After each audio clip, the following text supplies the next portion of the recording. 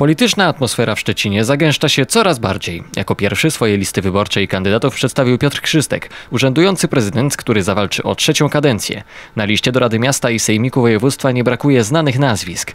Jak podkreślał prezydent, nie chciał zabierać jednak znanych polityków z innych partii, a skupić się na mieszkańcach i aktywnych działaczach, którzy chcą coś zrobić dobrego dla miasta. Ale łączy nas jedno.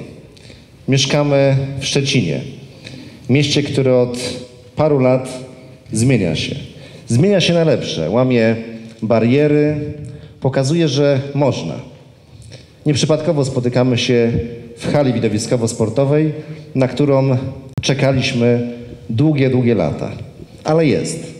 To efekt naszej wspólnej pracy, bo Szczecin to przede wszystkim ludzie. Kandydaci Piotra Krzystka będą startować pod szyldem bezpartyjni, bo jak mówił prezydent, Szczecin nie należy do żadnej partii i nie powinien być przestrzenią realizowania czyichś partykularnych politycznych interesów.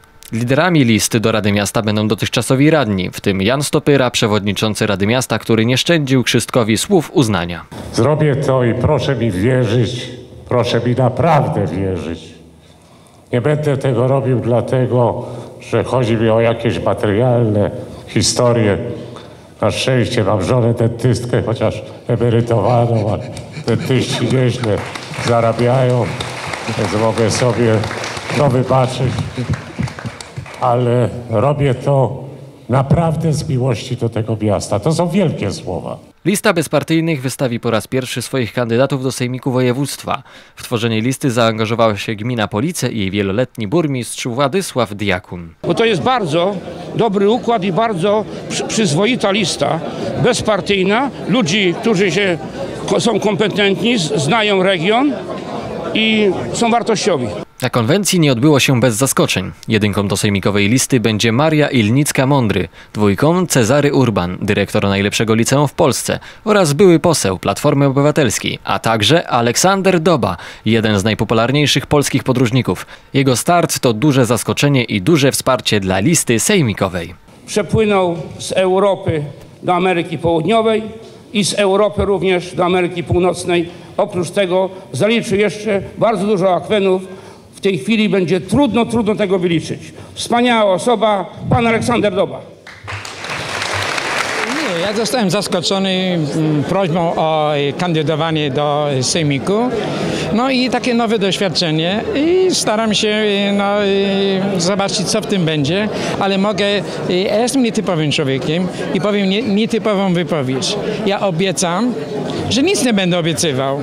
Będę po prostu robił swoje, jeśli będę mógł. I to tyle.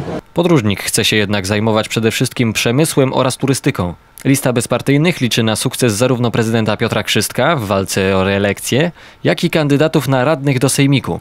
Kandydaci są mocni i rozpoznawalni, zapewnia najbliższy współpracownik Piotra Krzystka oraz jeden z kandydatów Krzysztof Soska. Oczywiście liczymy na to, że te wybory wygramy i to jest nasz cel. Dlatego stworzyliśmy bardzo silne listy. Wydaje mi się, że e, także wyciągnęliśmy wnioski z poprzedniej kampanii sprzed czterech lat. Budowaliśmy te, te listy bardzo spokojnie i z taką myślą, żeby, żeby szukać e, przede wszystkim ludzi, którzy, którzy są e, dobrze znani w swoich środowiskach, są aktywni społecznie, zawodowo.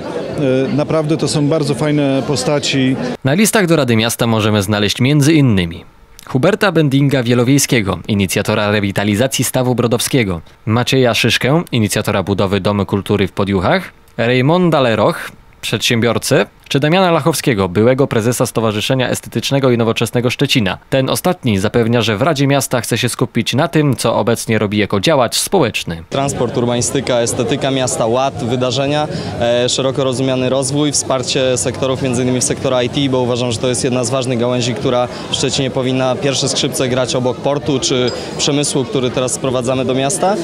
Wybory samorządowe odbędą się 16 listopada.